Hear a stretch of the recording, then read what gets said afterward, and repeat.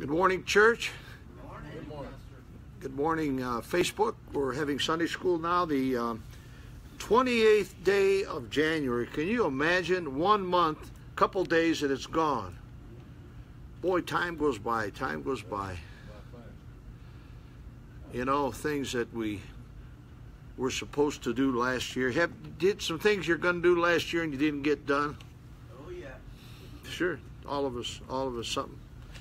But you know, uh, then we said, well, the year's gone, it didn't finish. I'm going to get it done. You know what? Here, another month's gone. We haven't done it yet. That's it. It's called procrastination. You have the lifestyle that says this why do today what you can leave for tomorrow? That's sad. That's terrible. You know what? People that usually live that way don't amount to much. I'm, I'm not mad at you or anything. I'm just telling you things don't usually work out so well. There's some people I know that they're they're always right there, boy. They're they're they come early. They don't come late. Uh, they they they get it in two days ahead of time instead of a month late. Huh? Which side of the fence are you on on that stuff? There's there's a secret to success, and uh, seems to me a lot of people don't succeed on purpose. they work at not succeeding many different ways. Anyway, 28th chapter of Acts. I'm not mad at anybody. I'm just trying to help you.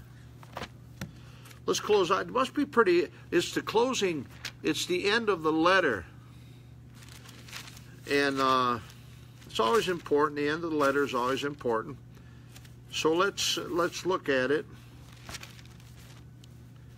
as we close out the book of Acts.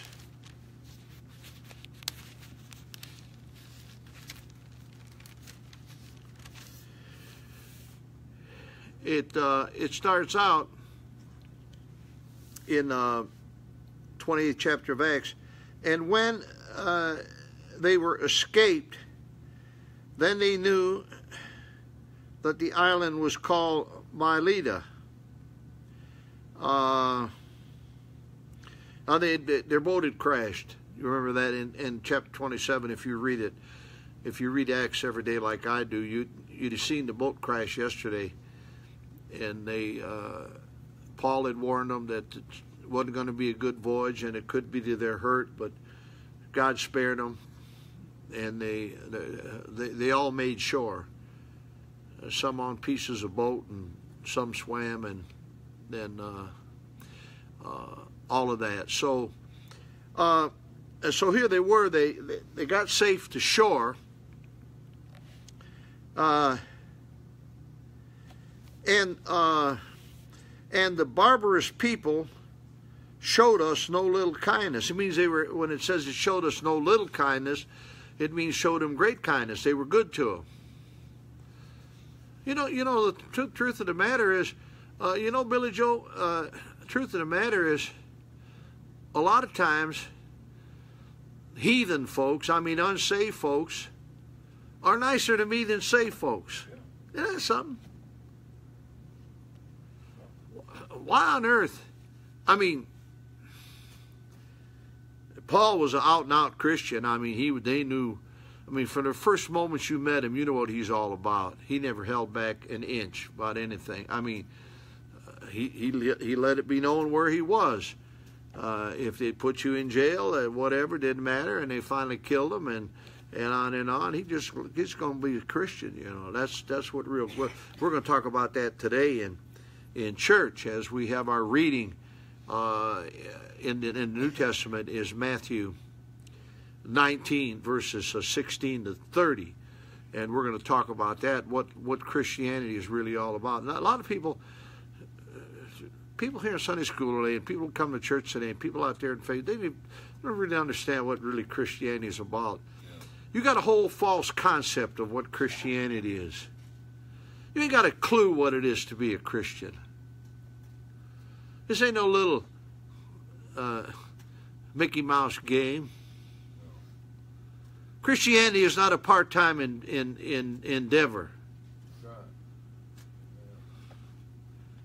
I doubt most people's Christianity.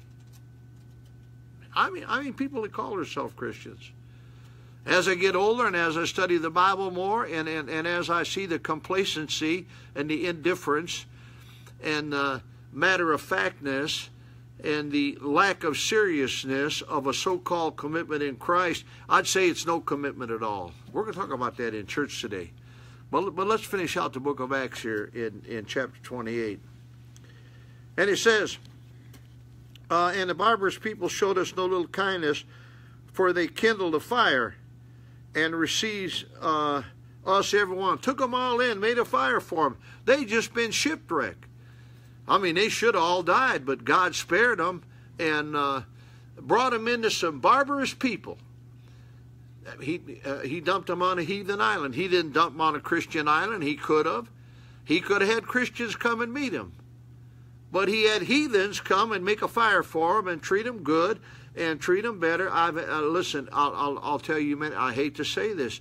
It's sad to say, but in all my years of Christianity, since April fourth, nineteen sixty nine, yes, I have some good Christian friends and uh, and uh, they've treated me good over the years. But yet I've had other Christians, I believe are Christians, that really haven't treated me very well, haven't really done much for me, and actually uh, unsaved people uh, have been better uh, and been kinder and better to me than saved people.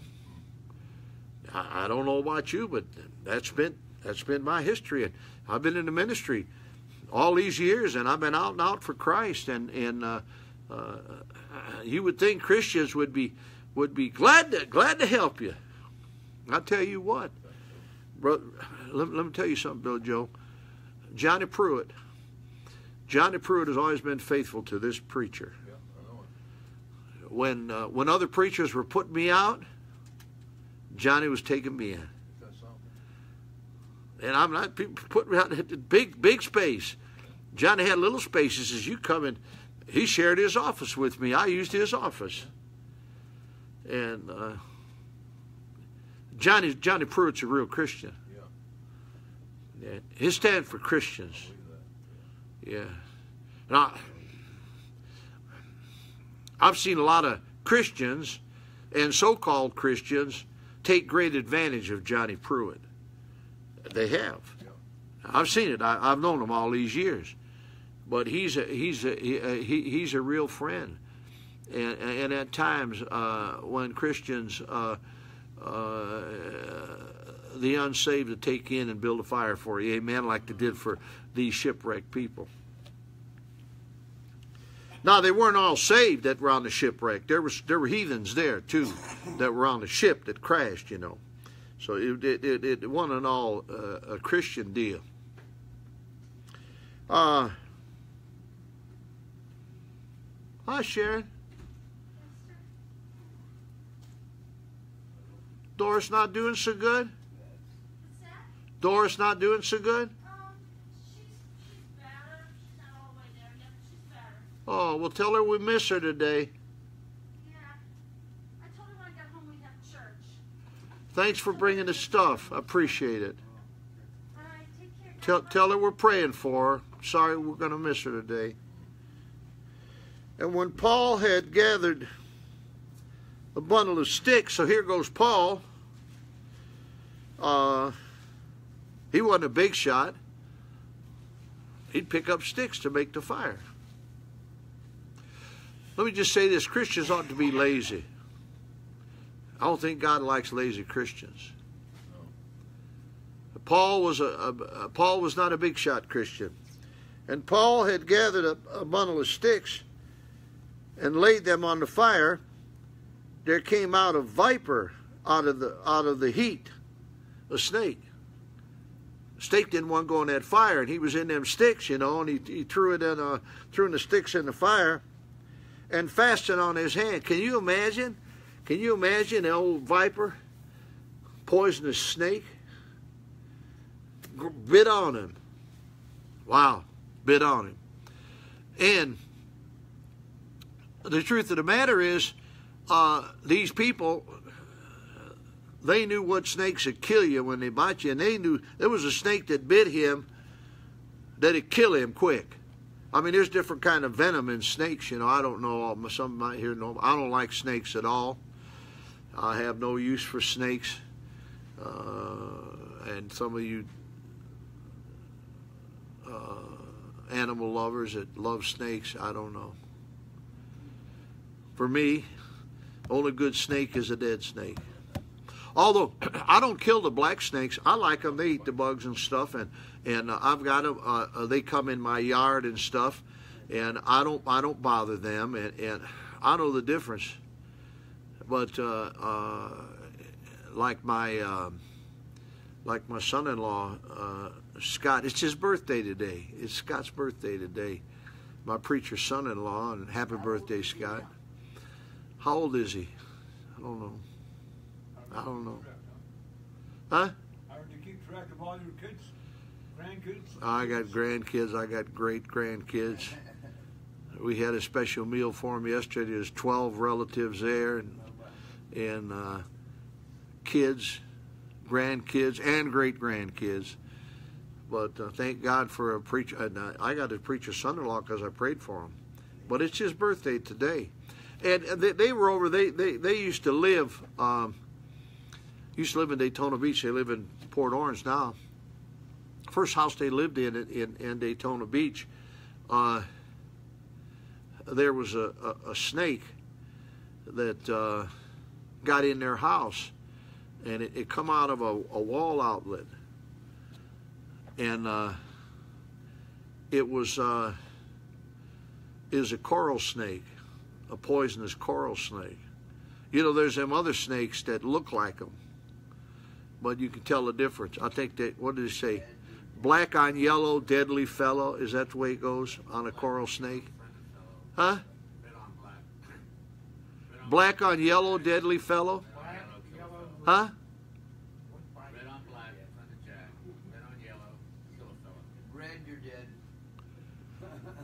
Wait a minute now.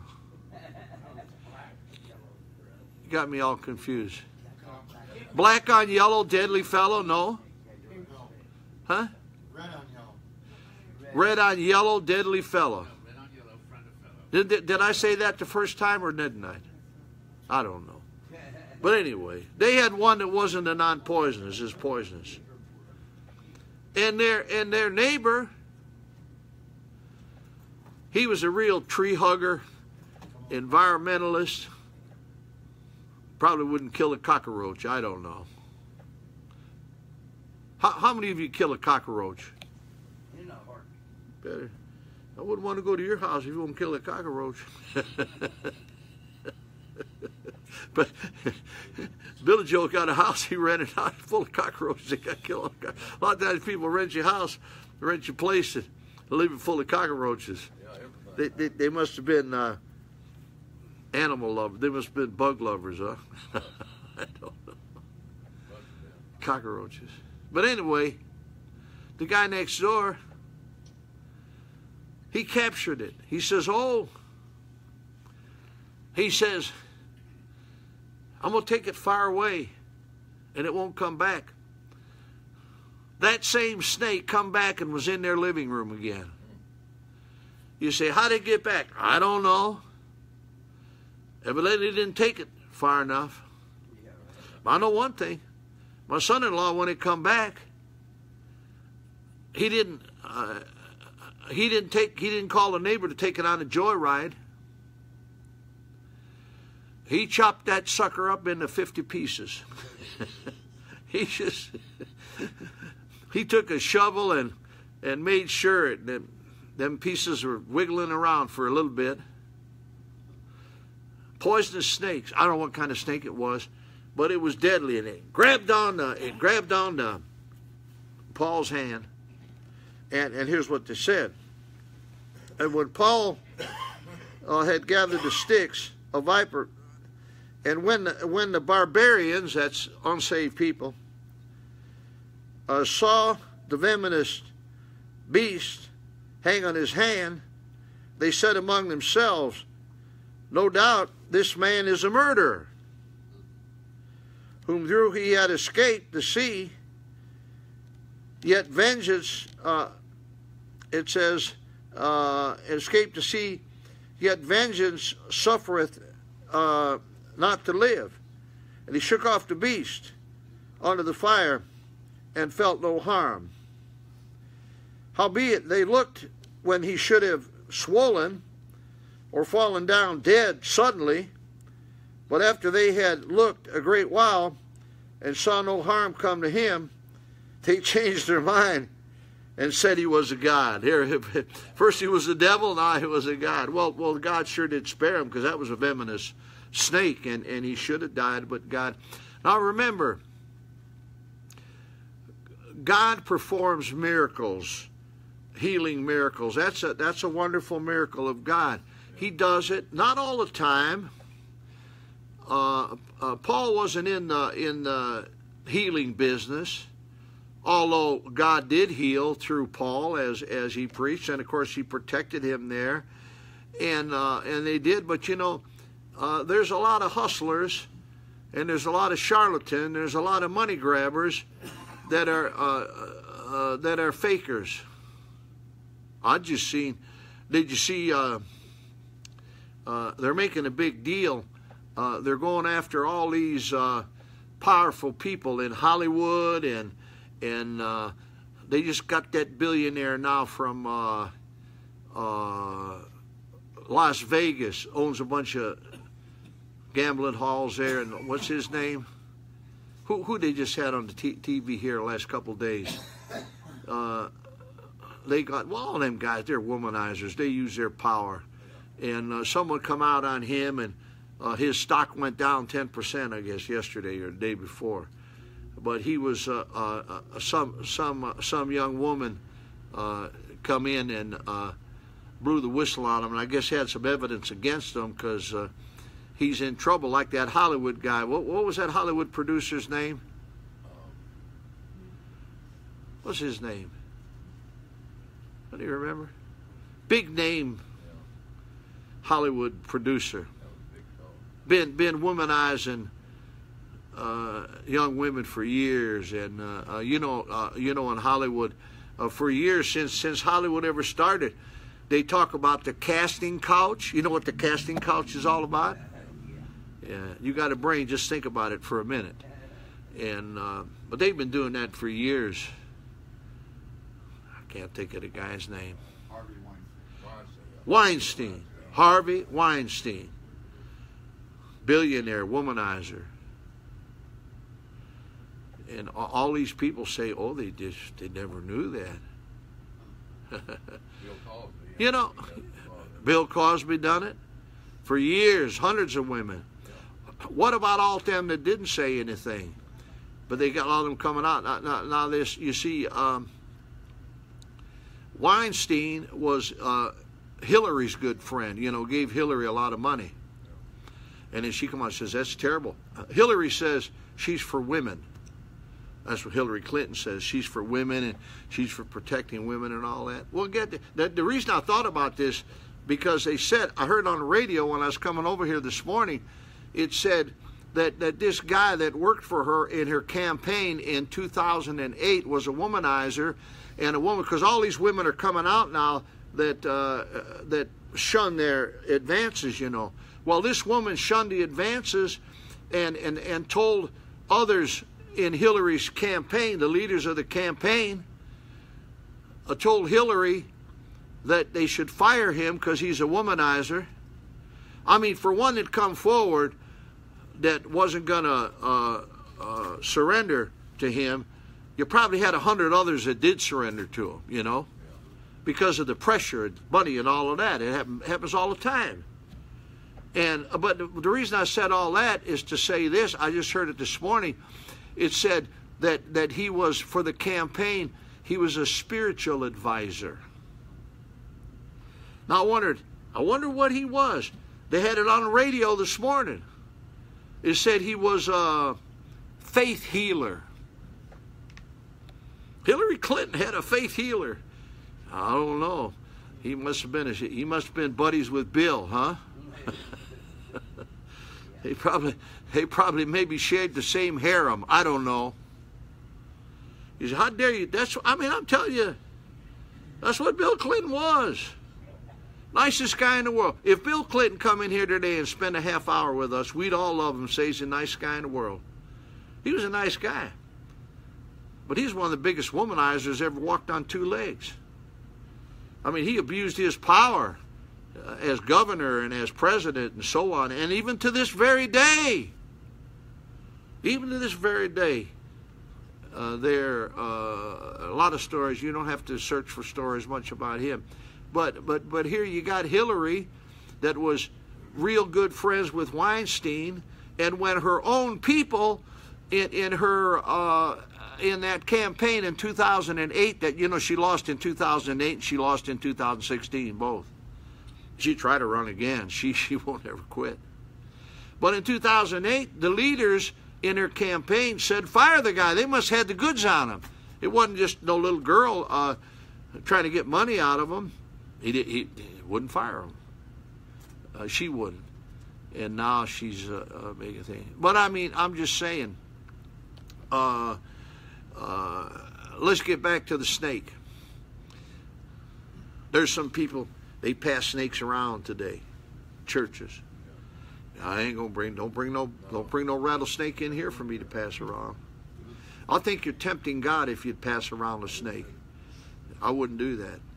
Well, let's get back to our uh, let's get back to our our, our, our chapter here, and it says. Uh,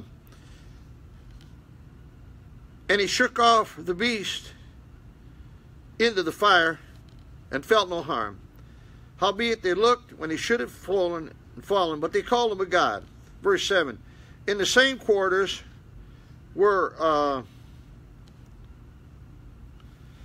uh, possessions of the chief man of the island, whose name was Publius, who received us and lodged us three days courteously. So here he was again. Not only did he build a fire for them, he lodged them. He put a roof over their head.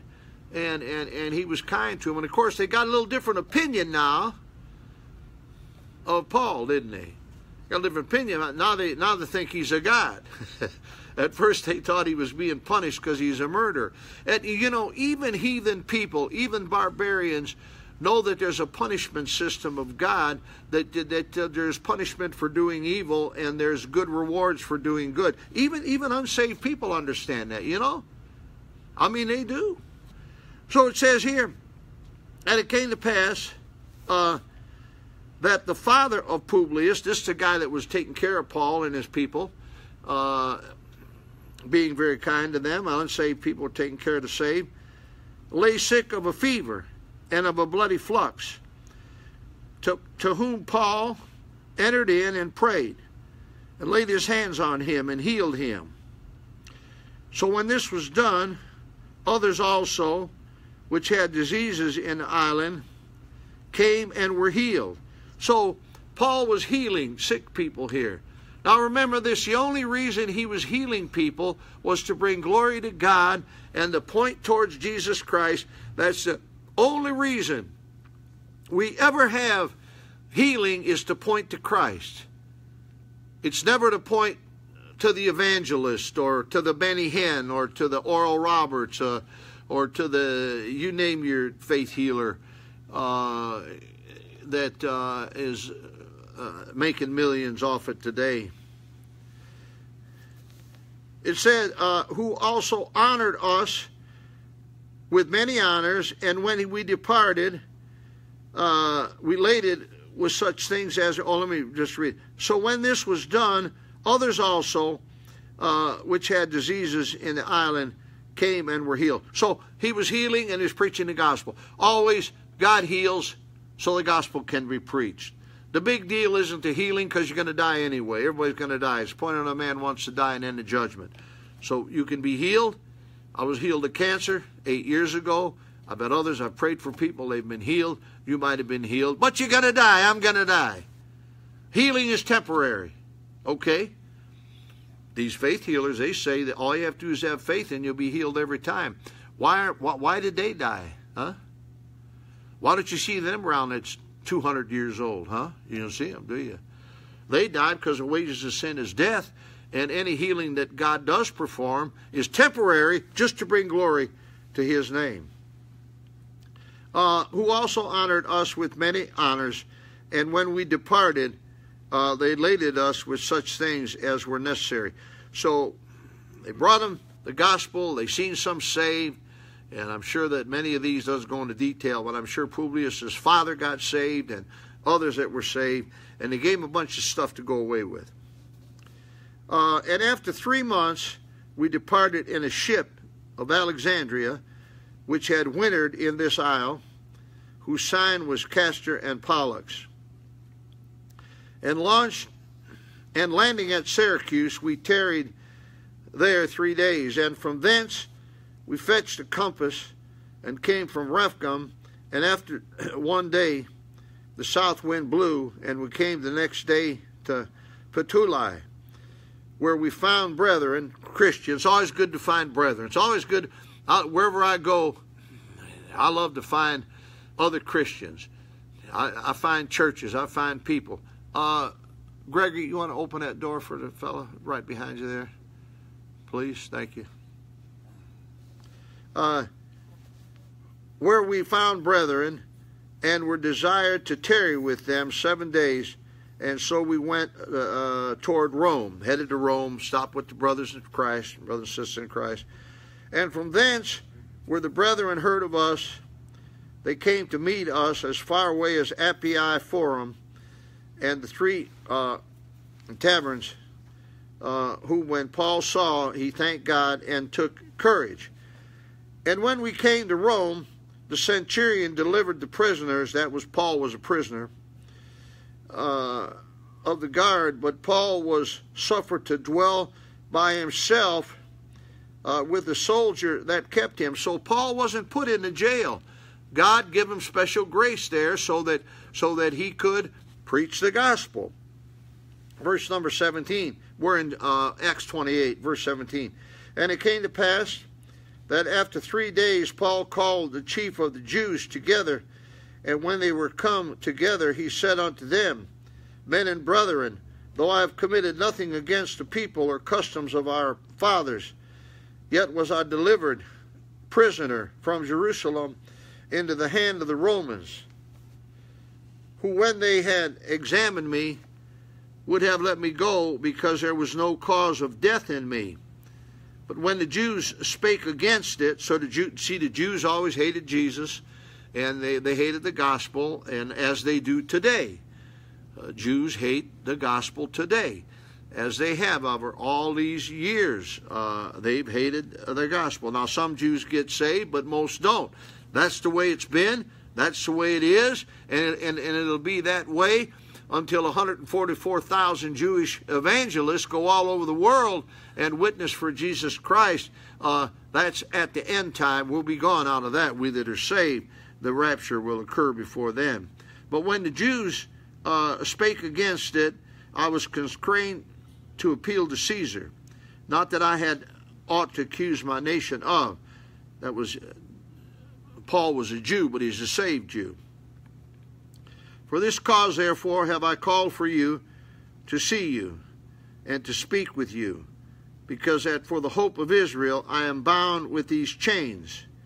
And they said unto him, We neither received letters out of Judea concerning thee, neither any of the brethren that came showed or spake any harm of thee, but we desire to hear of thee what thou thinkest.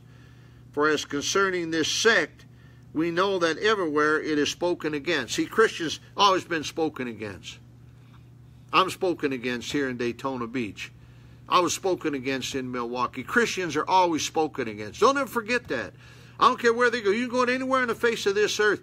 Christianity will be spoken against by the governments and by the general people. When you've got a fake Christianity that the government is upholding and everybody's praising and they're bowing down to, it's a fake Christianity. Real Christianity is always pros- is always persecuted and is always spoken against. Don't forget that. They said, well, you ain't, uh, he ain't got no sway with anybody, preacher. I got sway with God, amen. you get saved, you'll have some sway with God too. Forsake the world. Let God be true and every man a liar. I said, let God be true and every man a liar. Yeah, you listen to men, you say, "Whoa, whoa, whoa, whoa." like I said, woman at the barbershop owns that barbershop I get a haircut at. My my barber's a Christian. He got saved. Someone come here and led him to Christ in Cincinnati, where he owned the barbershop. He got saved. She's all against God. Ain't no God, ain't no hell, ain't no heaven, ain't no anything in there. I mean, that's just you stand strong for Christ. That's what you get. When they appointed him a day, there came many of uh, to him into his lodging, to whom he expounded and testified the kingdom of God, persuading them concerning. He had his own house. He had a guard there with him. Didn't have to go to jail. And people were coming there with him. For two years they came to him, and he got to testify and do God's work, you see. And it says in verse 24, and some uh, believed, and some the things. Some believed the things which were spoken, and some believed not. Just like right here. Just like right here, we got people. Some you believe, some some won't. Those that believe go to heaven. Those that won't, you go to hell. I care about you. I'm glad you're here. I love you. I'll treat you nice. I'll feed you, give you coffee. I'll try to be kind to you, which I believe I ought to. But if you don't believe on the Lord Jesus Christ and get saved, you're going to hell. Sometimes, a lot of times, people be coming to church so long, and some of the uh, Christians in the church, or sometimes a preacher, they get so used to them coming, they just kind of forget about them. But here they are in the church, lost as Hogan's goat, going to hell. I, I every day I encourage people to get saved. There's not a day goes by that I don't encourage uh, uh, the born again experience. Yeah. And when they agreed not among themselves, they departed after Paul had spoken one word. Well spake the Holy Ghost by Isaiah the prophet unto our fathers. Here's here's Paul, of course, quoting Isaiah, Old Testament prophet, saying, Go unto the people and say, Hearing ye shall hear, and shall not understand. That's a lost person. And seeing ye shall see, and not perceive. For the heart of this people is waxed gross. That ain't good. Gross ain't good. And their ears were dull of here. Like some are sitting here. You can't, you ain't getting it. You love your sin. You say, well, I can't wait to get this over with. Get that good meal, get that good chicken dinner, and get out of here and go out there and live for my daddy, the devil, again. That's sad. People come in here all the time like that. I say, if that's what you want, if you want to go to hell, I guess you're going to go to hell. You want to choose Christ, you can choose Him. Want to rebel against them as you have been in your lostness, continue on. The fires of hell will be at the other end of that journey. And their eyes have been closed. That's you that aren't saved. Least they shall see with their eyes and hear with their ears and understand with their heart. You got to understand with your heart. You hear what you see with your eyes. You hear with your ears. You see the miracles of God. You hear the gospel of Jesus Christ. And it says, and and then and then you understand with your hearts. But if you've got a hard heart and you won't listen and understand, you go to hell. That's the way it is. And should be converted. That's saved. That's born again. Amen. Converted. Yes. and I shall heal them. Be it known therefore unto you that the salvation of God is sent unto the Gentiles, and they will hear it. This is what Paul at the, at the book of the book of Acts, the end of the book of Acts, this great letter, book of Acts. He says, "You Jews, you hard-headed Jews that crucified Jesus, you won't understand. You'll go to hell." You don't want the gospel, uh, the, the, the, the bloodline of Jesus Christ, that Je- uh, Jesus uh, was of the Jews and salvation is of the Jews. But if you don't want it, we'll go to the Gentiles. That's all the other people in the world, and they will understand and they will believe. That's why there's tons of more Gentiles or other. If, if you're not a Jew, you're a Gentile. So said the gospel goes to the Gentile, and the majority of people that get saved are Gentiles, are other, other people, not the Jews. And Paul dwelt two whole years in his own hired house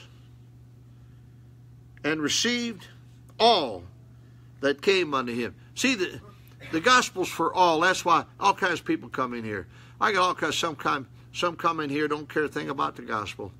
Some in here are smart Alex and uh, wiseacres and and uh, they they've got a they've got a, a they in. I mean, if I let the smart smart smart Alex and wiseacres take over that come in here, this place would be a mess. We do things decently in order here. We eat over there. We have church over here. Amen. Yeah. We come in, we stay in. We don't have people wandering around out in the lot smoking and carrying on and everything. You want to come in and get coffee and donuts? You're in for the service. That's it.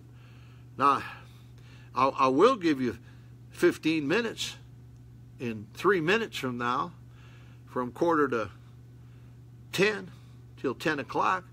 You can go outside and get a breath of fresh air. But I tell you what, you ain't getting no breath of fresh air if you're sucking on a lousy cancer stick.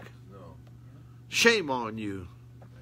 I'm trying to save your life. I'm trying to save your soul and your life from cancer. Amen. Lung cancer, throat cancer, tongue cancer. Right. Read the pack you smoke out of. It's dangerous to your health. It's. No good. Yeah. Verse 31 Preaching the kingdom of God and teaching those things which concern the Lord Jesus Christ with all confidence. No man forbid. Boy, when God's for you, who can be against you? Can preach that gospel. You could even be in jail, and and and, and God to put a God to put a uh, work it so the system, who He the, God works through authority. But God had them rulers to have a guard watch him in his private home. Preached for two years there, got a lot of people saved. Some believed, some didn't. That's just the way it was. So we're going to have church in a minute. Believe on the Lord Jesus Christ and thou shall be saved. We're going to have a great message today. I believe it's a great message, not because I'm teaching it, but it's coming from the Word of God. Amen. But it's going to be in the 19th chapter of Matthew, verses 16 to 30. It's going to tell about a real Christian. Facebook, you better tune back in and get a hold of someone, have them tune back in. Listen to it. Get someone in on it. About what a real Christian is. Let me say this. Most people that think they're Christians aren't Christians. Uh, let me say it again. I meant it. Most people that think they're Christians aren't Christians. Let's examine it in Matthew chapter 19, verses 16 through 30. It's quarter two. We'll start church here at 10 o'clock, and, and Facebook will be preaching about 20 after. Uh, maybe a little bit earlier than that. Uh, maybe earlier than that. But Billy Joe's going to play some songs, and then we're going to be preaching. Have a great time. Bye bye, Facebook. See you in a little bit.